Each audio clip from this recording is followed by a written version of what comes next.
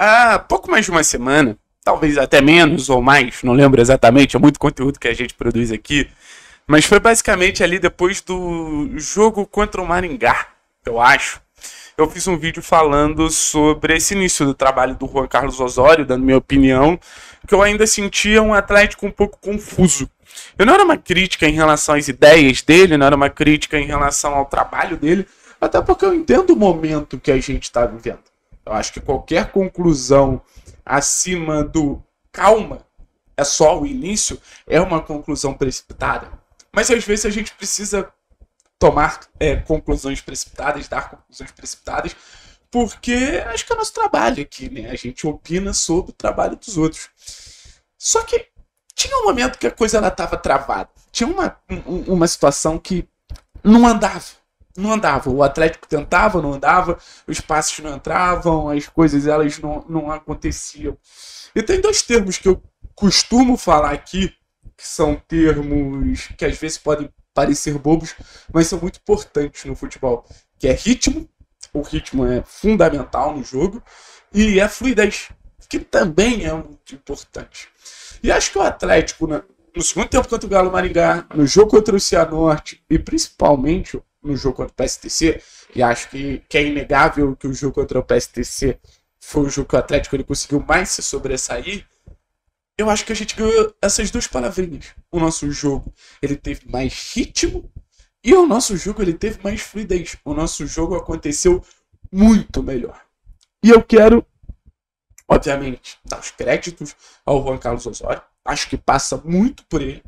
E acho que, assim, o trabalho do Osório de fazer com que essas ideias elas sejam da melhor maneira possível assimiladas pelos jogadores, vai do treino.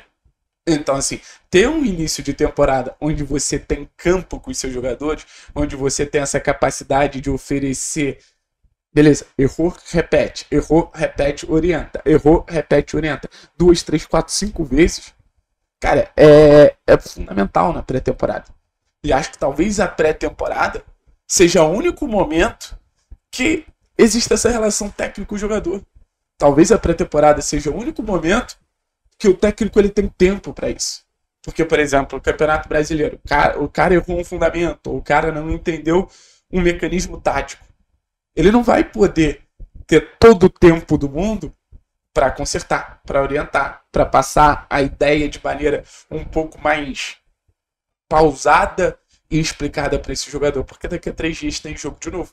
Daqui a três dias tem jogo de novo no Campeonato Paranense. Mas o cenário do Campeonato Paranense está permitindo a gente rodar um pouco mais o elenco.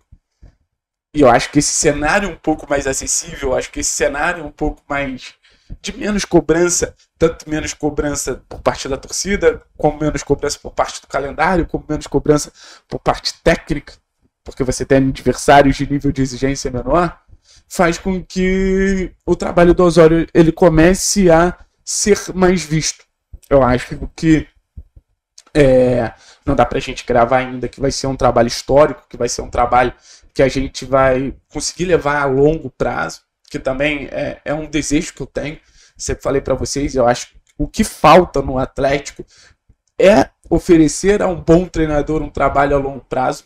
Eu acho que, pelo menos por parte da torcida e por parte de todo o currículo que o, que o Juan Carlos Osório tem, se ele conseguir realmente executar um bom trabalho, acho que não dá para dizer ainda que esse bom trabalho está executado, mas se ele conseguir executar esse bom trabalho, dá para cravar que é um cara que pode ter longo prazo no Atlético, sim, é um profissional que pode ter longo prazo no Atlético, sim, mas eu acho que até para esse longo prazo, o início do trabalho ele é fundamental. O início do trabalho é o que vai dar sustentação, o início do trabalho é o que vai dar credibilidade para que o Osório ele siga trabalhando e que faça coletivamente, aí que a gente vai entrar mais nesses pontos, o Atlético continue evoluindo.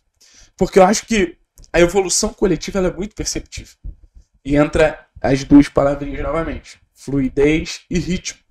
Porque o Atlético, ele se mantém quente na partida. Aí a gente está falando de ritmo. Não é um Atlético que deixa o jogo esfriar muito.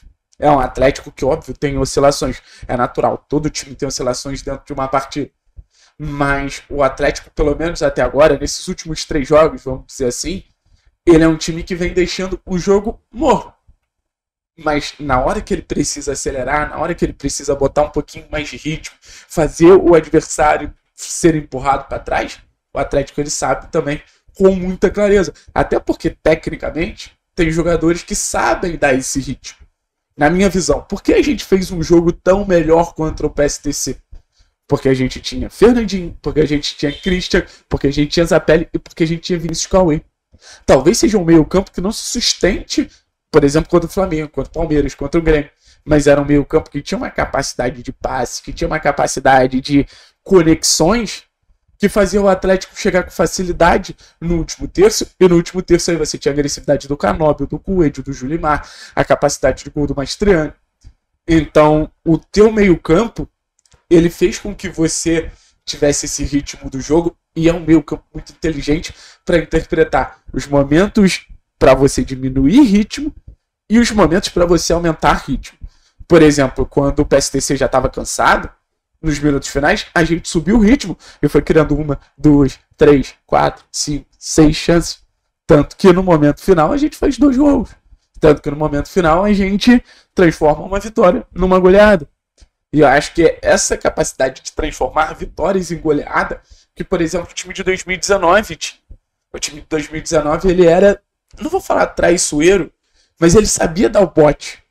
Na, na imprensa inglesa, chama o Manchester City de tubarão, né?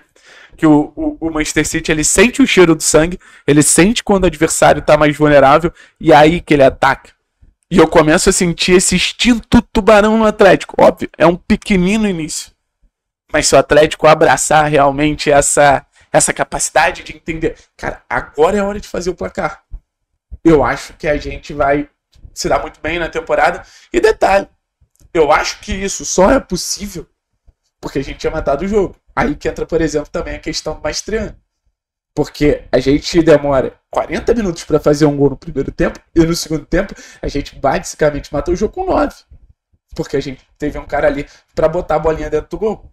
A gente ficou perdendo chance durante 40 minutos no primeiro tempo. Aí entra também a necessidade da eficiência e a necessidade da eficácia. Eu falando sobre fluidez, eu acho que tem a parte técnica de jogadores acima de um, de um bom ritmo, acima de um bom nível, mas eu acho que também tem uma questão de confiança. E a parte da confiança é muito legal. A confiança de ver os jogadores se impondo, a confiança de ver os jogadores arriscando um pouco mais, a confiança de ver o que o Osório está passando para eles, eles estão comprando. Porque, por exemplo, você ter o Matheus Gamarra jogando como meia esquerda é uma loucura, gente. É uma loucura. Pro próprio Matheus Gamar. O jogador ele também não gosta de ficar tanto numa zona de improviso. O jogador também não gosta de ficar tanto fora de uma zona onde ele se bancou. O Gamar ele se justificou como zagueiro. Ele vai jogar de meia esquerda. Mas ele entra, participa de gol, cria jogada, vai bem. Porque ele comprou a ideia. Porque ele acreditou no, na ideia inicial do Osório, porque isso partiu do Gamar. Ah, não, eu vou ser meia esquerda. Isso partiu do Osório. Mas os jogadores começando a acreditar no Osório, a execução ela vem naturalmente. Aí que vem a fluidez. E o Atlético ele tem capacidade de ser um time muito fluido pela qualidade, pelas ideias e pela credibilidade que o trabalho vem ganhando. Se fosse, por exemplo, um time que ainda duvidasse do Osório, um time que ainda tivesse pontos de questionamento em relação ao Osório, eu acho que seria muito mais difícil. Eu acho que essa seria novamente esse time travado, entende? Então, é isso que eu queria trazer para vocês. É uma evolução em dois pontos muito importantes do jogo. O jogo do, do Atlético acontece de forma muito mais fácil. Valeu, pessoal. Tamo junto, araios.